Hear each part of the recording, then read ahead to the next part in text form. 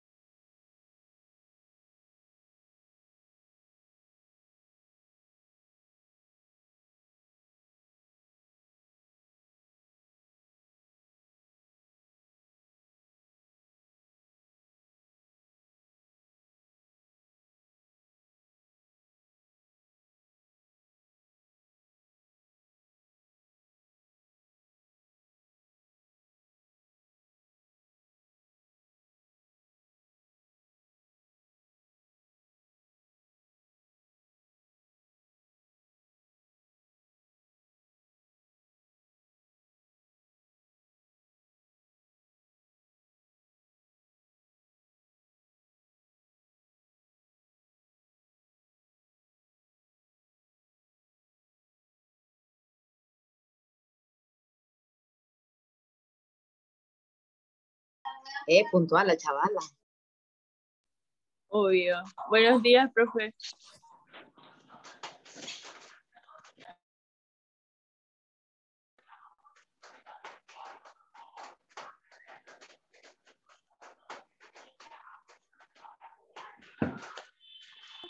Pero anda bañate, sos una cerda.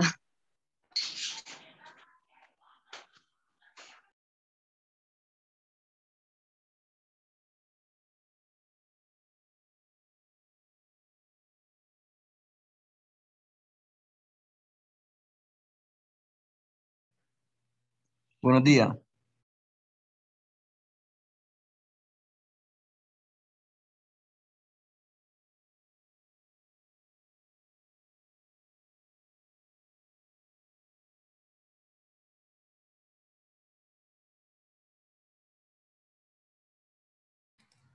Bueno, buenos días a todos y a todas. Buenos días.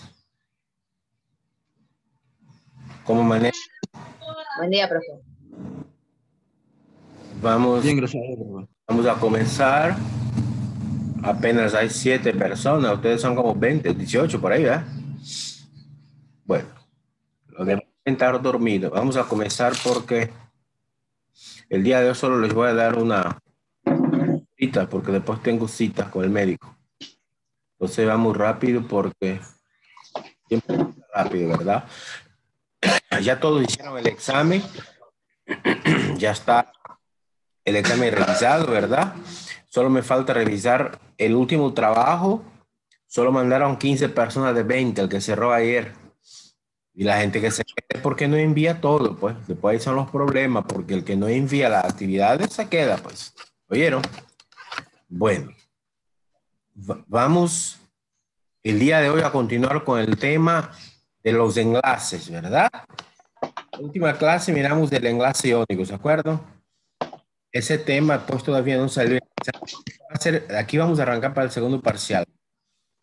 Enlace iónico, miramos enlace iónico y sus características. ¿Quién me recuerda entre cuáles elementos se da el enlace iónico? ¿Quién me lo dice? ¿Entre cuáles elementos se puede establecer el enlace iónico? ¿Quién me lo contesta? Entre un metal y un no metal, profe.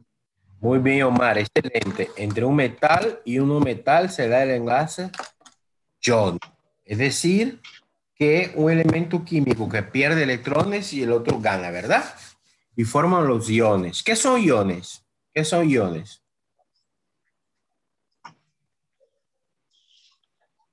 ¿Qué son los iones?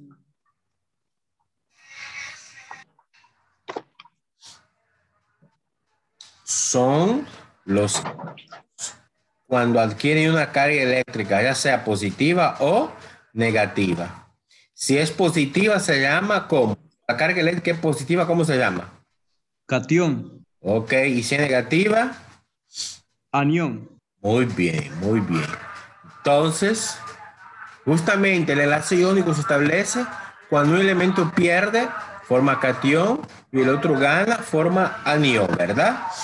Es el enlace iónico. Se da entre metal y no metal. ¿Ok? Hoy vamos a ver el enlace covalente. El enlace covalente. Entonces vamos a compartir aquí una presentación del enlace covalente, que es el enlace que sigue, ¿verdad? ¿Se acuerda cuando habíamos visto los eh, esquemas? Miramos que hay enlace iónico, enlace covalente y enlace metálico. El día de hoy nos toca ver el enlace covalente. ¿Qué dice ahí, Omar? ¿Quieres leer, Omar? El enlace covalente. Las reacciones entre dos átomos no metales producen enlaces covalentes. Este tipo de enlace se produce cuando existe una electronegatividad polar. Muy bien. Ahora va a leer la señorita Stephanie Suárez. El enlace covalente, las reacciones entre dos átomos. No, niña, niña, eso ya lo había leído Omar. Ah, la otra parte. El párrafo que sí. Se forma cuando la diferencia de electronegatividad no es suficientemente grande como para que se efectúe transferencia de electrones. Entonces los átomos comparten uno o más pares electrónicos en un nuevo tipo de orbital denominado orbital molecular. Bien, muy bien, excelente. Entonces, fíjense, nos dice que ese enlace ahí aparece en rojo, primer párrafo que leyó Omar, se establece entre no metales. Ese es lo primero que debemos saber, que el covalente va a ser entre no metales. Y recordemos que no metales en la tabla periódica hay pocos. Yo lo había hecho el esquema, eh, habíamos discutido, mejor dicho, la estructura de la tabla periódica. Los no metales son más o menos el 20% del todo los elementos de la tabla periódica. La mayor parte son metales. Entonces, cuando se une un no metal con otro no metal, va a ser enlace covalente. Ese es lo primero que debemos saber. El enlace covalente no se establece con metales, para nada, solo no metales.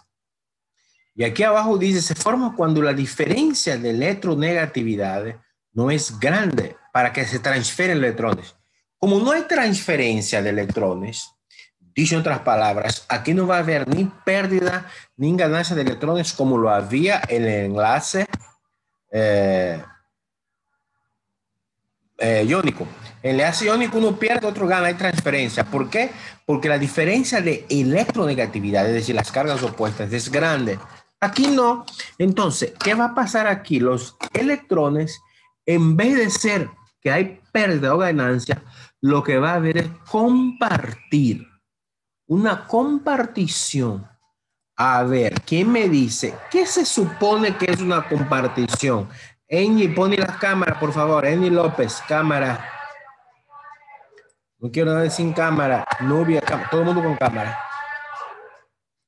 ¿Qué entienden por compartir? Eni López, la cámara.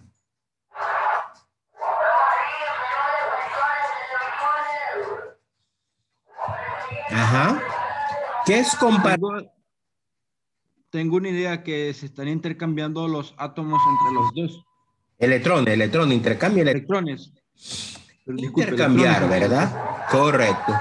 Puede ser un sinónimo, por ejemplo, cuando usted está de cumpleaños, usted invita a la gente, la gente le lleva regalitos, y usted qué le da? ¿Usted qué le da? Un beso y un abrazo. ¿Cómo que un beso y un abrazo, pinche? Usted le da comida, ¿verdad? Le da pastelito, le da un bocadillo ahí, hay una reunión de adultos, un traguito. Es decir, ese es un compartir. Compartir, en otras palabras, es dar y recibir.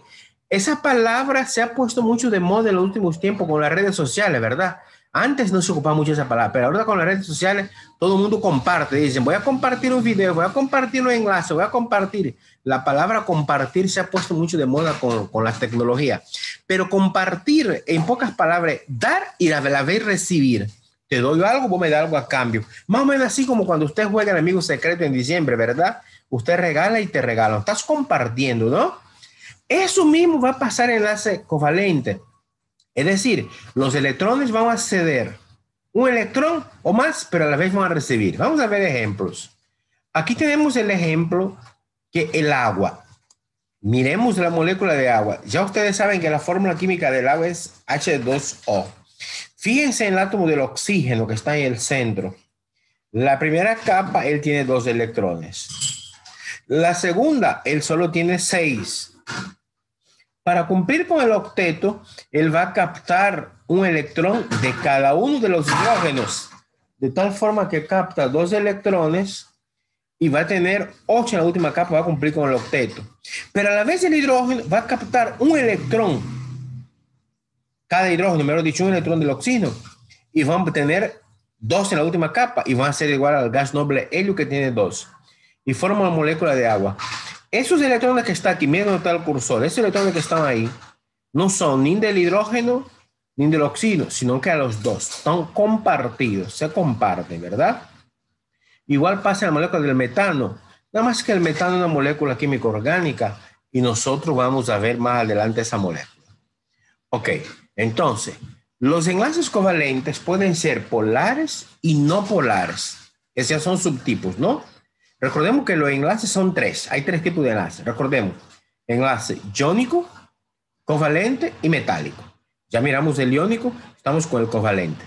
Dentro del covalente hay dos tipos, polares y no polares.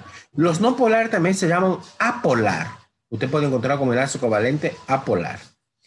Fíjense lo primero que, vemos, que podemos para diferenciar los polares y no polares. Mire, los polares, por ejemplo, aquí está CH4 está formado por un carbono y cuatro hidrógenos, todos no metales, ¿no? Y los no polares o apolares tenemos cloro y cloro, es decir, dos átomos iguales. Entonces podemos llegar a una gran conclusión, que los enlaces covalentes, los polares, están formados por átomos de distintos elementos, aunque son no metales todos, pero distintos elementos. Mientras que los no polares o apolares son átomos del mismo elemento. Mire, cloro con otro cloro forma la molécula diatómica del cloro. Aquí tenemos el ejemplo del agua. El agua es el ejemplo típico de un enlace covalente polar. ¿Por qué? Porque está formado por el hidrógeno y el oxígeno, dos átomos diferentes. ¿Y qué pasa ahí? Hay una mayor afinidad electrónica de un átomo hacia otro. Entonces, fíjense bien, los enlaces no polares, este caso, por ejemplo, aquí tenemos abajo H2, N2, Cl2, forman la molécula de hidrógeno, hidrógeno, hidrógeno y cloro. Los eh, no polares tienen una igual atracción los electrones y son compartidos por los átomos de la misma manera. Fijémonos aquí esta figura que está aquí del cloro, ahí arriba. Si ustedes se fijan, la última capa del cloro, la última capa, contémosle, que está a la izquierda, los amarillos. La última capa es siete amarillos. El de la derecha, los verdes, la última capa es siete. Los de la capa intermedia, recordemos que eso no tiene trascendencia para el enlace. Ahora, si fijémonos después, cuando se unen, el verde está aquí, donde están los amarillos, y viceversa. Dicho otras palabras, ese par de electrones que está aquí está siendo compartido. A la vez pertenece al primer cloro y al segundo, de tal modo que ambos quedan con 8 y cumplen con el octeto, ¿no? Es decir, ese enlace covalente eh, no polar o apolar se va a establecer entre átomos con una misma afinidad electrónica, es decir, átomos del mismo elemento. Ese es un enlace covalente apolar. Aquí está un ejemplo de hidrógeno. Recuerden, dice H2, son dos hidrógenos. Cuando es un hidrógeno, es el átomo. Pero cuando son dos, estamos hablando de la molécula. Igual aquí la molécula del nitrógeno y la molécula del cloro, ¿verdad? Ahora, ¿cuáles van a ser las principales características de sus enlaces? Cuando es sencillo, al, tiempo, Cuando es sencillo, ¿verdad? Dice aquí, enlace covalente sencillo. Por ejemplo, cuando se forma el ácido eh, clorhídrico o el caso del agua, se comparte un solo par de electrones. Un solo, Diana va a entrar hasta ahora. un solo par de electrones que está aquí.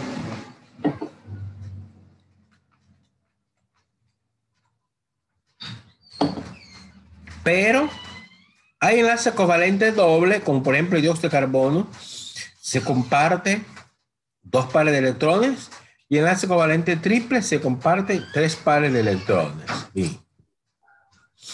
Ahora, tenemos que ver que el enlace iónico, perdón, el enlace covalente tiene como principal característica que cuando se unen los diferentes átomos, forman un ángulo al unirse entre ellos, es decir, tiene una dirección y son moléculas que tienen un enlace que se puede decir débil, frágil. ¿Por qué? Porque ese ángulo prácticamente se puede romper y cambiar la dirección de los enlaces.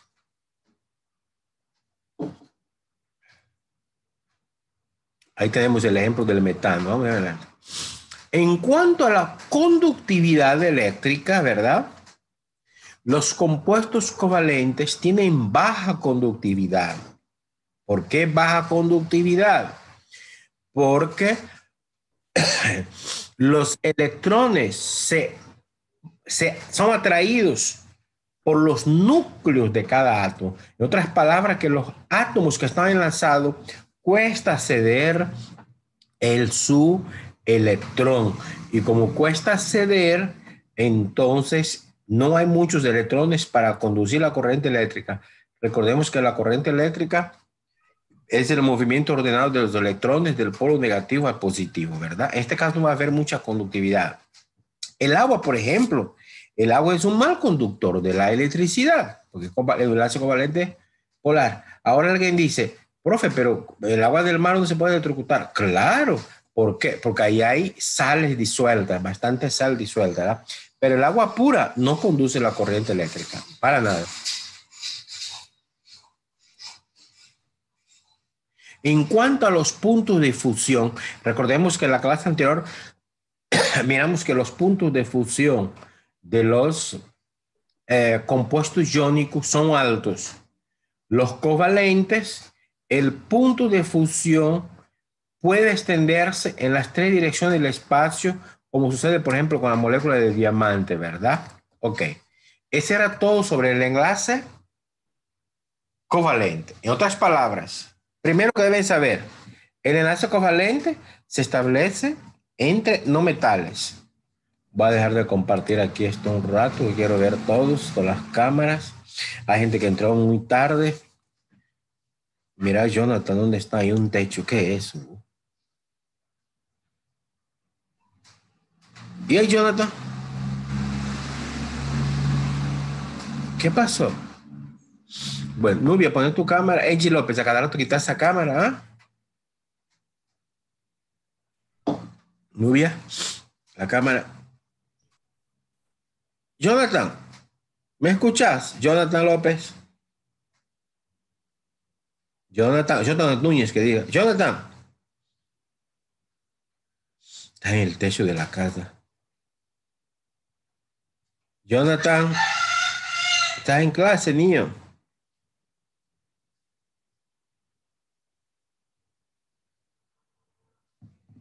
Se salió. Anda bien loco, Jonathan. Ok. Entonces, en este caso, Angie López, la cámara, Eni. Yo voy a sacar de la reunión a Eni López, es demasiado. ¿Y usted por qué se quita la cámara cada rato, Angie? López. Bien.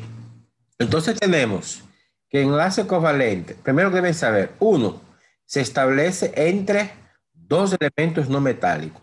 Dos, esos dos elementos metálicos comparten electrones. Y al compartir electrones van a formar dos tipos de enlace covalente, el polar y el no polar o apolar. El polar, la compartición es equilibrada y el apolar no equilibrada. ¿Qué es una compartición equilibrada? Es cuando los dos átomos aportan la misma cantidad de electrones. Es como cuando usted comparte con alguien que usted regala, sé yo, una camisa y te regala un pantalón. Más o menos ahí es equilibrado la cosa. Pero si usted regala una camisa y te regala un lapicero, eso no es equilibrado. ¿Por qué?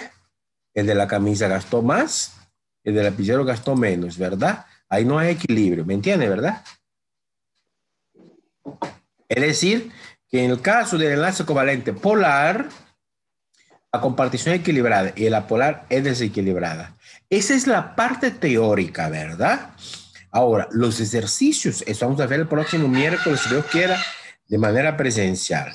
Bien, ahora vamos a ver, para terminar, vamos a ver el enlace, eh, el enlace metálico, ¿no? Ahí tenemos, lógicamente, la palabra lo dice metálico, son los que se van a establecer entre metales. Y los metales son elementos perdedores por excelencia. Todo el metal, todo, cuando, cuando va a reaccionar, lo primero que ellos hacen, pierden electrones. Con mucha facilidad ceden sus electrones y se convierten en iones positivos como el sodio positivo, cobre, magnesio. Es decir, que los metales son perdedores por excelencia y forman iones. Esos iones que son positivos, lógicamente, cationes serían, se espacio formando una red metálica, como esta que está ahí. Fíjense bien. Los electrones desprendidos forman una nube o mar de electrones que pueden desplazarse a través de toda la red. Así que el conjunto de iones positivos del metal queda unido mediante nube de electrones con carga negativa que lo envuelve. Es de ahí, muchachos, que eso le da a los metales una característica que lo hace únicos, que son excelentes conductores de la electricidad, del calor, son dúctiles y son maleables. Esa propiedad después vamos a ver más adelante. Todos los metales son conductores de la electricidad, unos mejores que otros. Lógicamente, los mejores conductores son del metal, del metales caros, oro, platino, ¿verdad? Plata, etc. Pero ya ustedes saben que nosotros a nivel doméstico, los conductores que tenemos en nuestros hogares son hechos de metal como el cobre y aluminio, ¿verdad? Que son metales pues menos valioso que el oro y la plata. Entonces, el enlace no es entre átomos, el enlace metálico, sino más bien entre cationes. ¿Qué son los cationes? Pues son aquellos elementos que se dieron electrones y quedan con carga positiva, ¿verdad? Positiva. Aquí tenemos un ejemplo cómo se miraría de manera tridimensional la estructura de los núcleos de los metales que han cedido electrones. Es decir, el del cobre, su núcleo va a tener un exceso de protones, carga positiva, donde van a estar los electrones. Y eso crea un sistema tal que puede conducir la corriente eléctrica. ¿Qué características tienen sus enlaces metálicos? Pues la primera, ya había mencionado, la conductividad eléctrica. Son buenos conductores de la corriente eléctrica los metales, ¿verdad? Todos sin excepción. ¿Por qué? Porque tiene muchos electrones que se pueden mover y conducir la corriente, ¿verdad? También son buenos conductores del calor. Es decir, que el calor se transporta a través de los metales por las colisiones entre átomos que se producen con mucha frecuencia. Por eso, normalmente los metales cuando estamos sometidos a la temperatura, tiene que haber algún agente aislante para evitar fugas de calor. En cuanto al brillo, los metales tienen una característica también que lo hace único. Todos, todos, todos poseen un brillo característico. El, lógicamente, los metales más caros poseen un brillo más intenso, como el caso de la plata, qué sé yo, el, mismo oro, pero todos los metales brillan, hasta el hierro, ¿verdad? Si usted pule el hierro, lo mismo a ver que brilla. Por ejemplo, la madera, la madera no brilla, no es metal, pero los metales brillan. Y ya sabemos que los puntos de fusión y ebullición son extremadamente altos, diría yo. Un metal, por ejemplo el hierro, se puede derretir para formar el hierro colado, hierro líquido, pues pero para hacerlo, tiene que ser una temperatura de 1650 grados. A cocer los alimentos, usted pone una cazuela de aluminio, ¿no? Ese aluminio no se derrite. ¿Por qué? Porque aguanta altas temperaturas. Eh, la, la temperatura de nuestros hogares, pues digamos la cocina, pues lo más que se puede alcanzar son 200, 300 grados, con costo. Y el aluminio se derrita a los 800 y pico de grados, es decir, soporta altas temperaturas, ¿no? Pero un horno industrial se puede derretir. Y lo mismo con la temperatura, temperatura de ebullición, es decir, presenta un punto de ebullición y fusión muy altos. Otra característica, la ductilidad y la maleabilidad. Es decir, que los electrones actúan como un pegamento flexible que mantiene los núcleos atómicos juntos, los cuales pueden desplazarse uno a otro. Esas dos características, la ductilidad y la maleabilidad, hacen con que los metales se pueden formar láminas finas. Por ejemplo, lo que tenemos en el techo de nuestras casas, tenemos una lámina ahí de, de zinc, ¿verdad? Se estira y va a formar una lámina. La madera, por ejemplo, no se puede estirar, ¿verdad? No se puede hacer una lámina de madera. ¿Ya? No se puede estirar el vidrio. Solo altas temperaturas se lo derrite, ¿verdad? Pero estirar no. Mientras que los metales se pueden hacer. La ductilidad y la maleabilidad es la característica que se pueden estirar sin deformar, sin romperse. Y eso permite formar láminas y también hilos, pues las varillas de hierro, etcétera, etcétera, ¿verdad? Bueno, ese es un ejemplo de por qué no se rompe, que es la tenacidad, que los metales son tenaces. Es decir, ellos pueden cambiar de forma sin romperse y después puede volver a su forma original. Por ejemplo, una varilla de hierro, usted puede doblarla, no se rompe el hierro se va a deformar, pero, pero después usted puede volver a ponerlo en su posición. Eso se llama tenacidad. Son tenaces los metales. Aquí se puede ver cómo los enlaces metálicos son más fuertes que los iónicos. Cuando se somete a una fuerza, el enlace metálico simplemente sufre una deformación, mientras que el iónico, ¿qué pasa? Se rompe con la misma fuerza. Entonces, ahí está la comparación, ¿verdad? Bien. Y recordemos que los metales podían ser aleaciones. Para el caso de la ciencia farmacéutica no tiene mucha importancia. Esa última parte, yo siempre imparto a los muchachos que estudian ingeniería civil, qué sé yo, pues, es lo que es de aleación. ¿Qué es la aleación? La mezcla de varios metales. Se mezcla un metal con el otro y se forman aleaciones, siendo el acero la mezcla más común y la más comercializada. El acero es hierro mezclado con no metales como por ejemplo carbono, algunos casos azufre. ¿Cuál es la intención? Hacerlo que no se corroya fácilmente. Ustedes saben que los metales, por ejemplo el hierro, reacciona con el óxido y se corroe, forma óxido de hierro que se puede, el famoso sarro que le decimos, ¿verdad? El acero es una mezcla de metal con no metales como el carbono, el oxígeno. ¿Y qué, ¿Y qué pasa? Se forma una mezcla que no se oxida fácilmente. Por ejemplo, en nuestros hogares, ustedes saben, la cocina no los pantres. Los pantres están hechos de aceite usted le puede echar ahí, están hechos, están hechos de, acero. Usted le puede echar ahí aceite, grasas, agua caliente, etcétera, etcétera. Y no le pasa nada, lo limpia y nada. Si fuese de hierro, rápidamente se eh, oxidaría, ¿verdad? ¿Ok? Entonces, al aumentar la cantidad de carbono, el acero se vuelve más duro, ¿verdad? Más duro. Entonces, eh, con 0.2% de carbono se tiene aceros blandos, por ejemplo, clavo y cadena. Con 0.6 se tiene aceros medios, dos rieles o vigas. Y con un por ciento acero de alta calidad, como los cuchillos, los resortes y herramientas similares. Ahí están los dibujos, pues.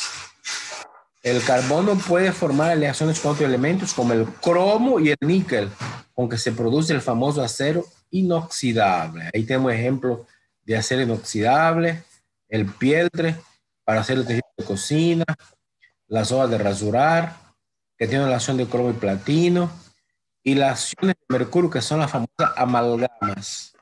¿Correcto?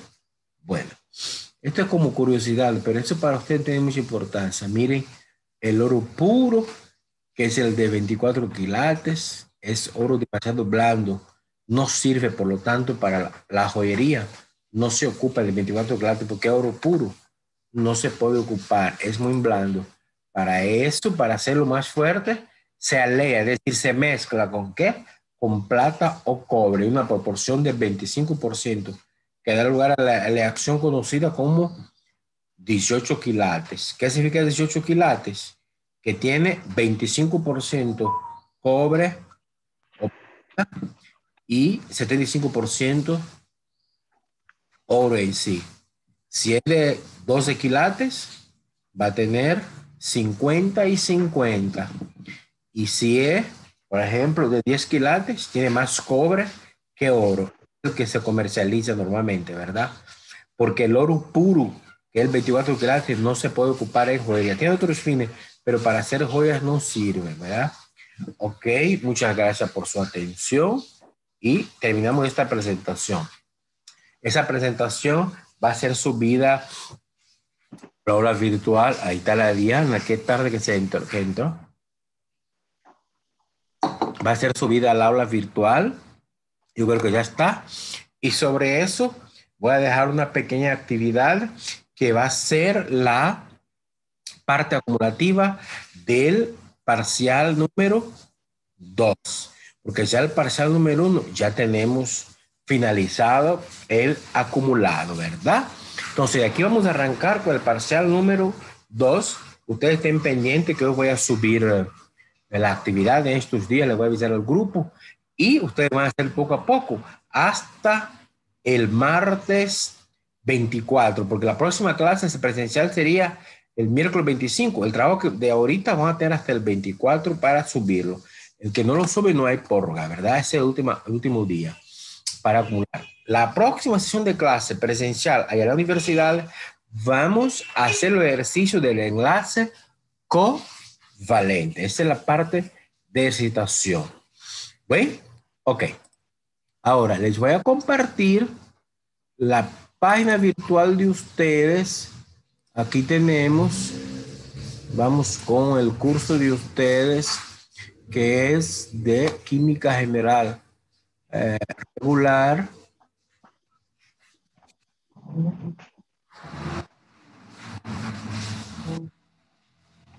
Química general dominical regular. Aquí está. Bueno. Entonces, el trabajo que cerró ayer, no todos los mandaron. Está internet para cargar. Ahí está cargando. Entonces, es la fecha, la semana pasada, el 9 al 13. Aquí está, qué es lo que hicimos en la clase presencial. Es un foro, va sencillo. Entonces, aquí solo enviaron, ¿cuántas personas? Mire, aquí arriba, participantes 20 y enviaron solamente 15. ¿Quiénes son los 15 que enviaron? Lo están viendo ustedes, ¿verdad, muchachos? ¿Mm? Sí, profe. Bueno, lo envió. Bueno, mejor me voy a decir quiénes no enviaron. Para que sepa un poco que tiene que el acumulado, ¿eh? ¿Quiénes no enviaron? Shirley Zacarías, ¿sabe quién es? María Flores, Débora Solórzano, Angie López, está por ahí la Angie López, me entregó. Esos cinco no entregaron. Y ese trabajo ya está cerrado. No lo vuelva a abrir. ¿Qué dice aquí? No, cierra hoy parece a las 23.59, ¿verdad? Así es. ¿Qué fecha hoy? Miércoles, sí. Todavía pueden entregar, pues parece. Ok.